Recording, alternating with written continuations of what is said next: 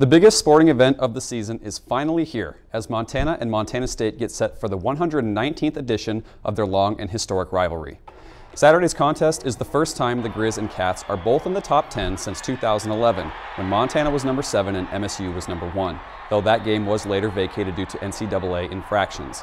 Last year was a heartbreaker for the Grizzlies, but Bobby Hauck and company are ready to roll once again while guys like Dante Olson, who grew up in Oregon, noted just how eye-opening it was to see how intense the rivalry was for those from out of state who didn't grow up watching this game.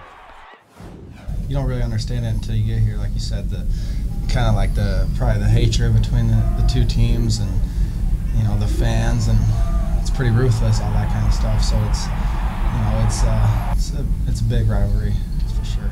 I think about the rivalry game a lot uh, through the year. I grew up around it and I think we're really lucky to have a, a long standing traditional rival. I think it's just a really cool deal that it's been played as many times as, as it has, and it's just a great game.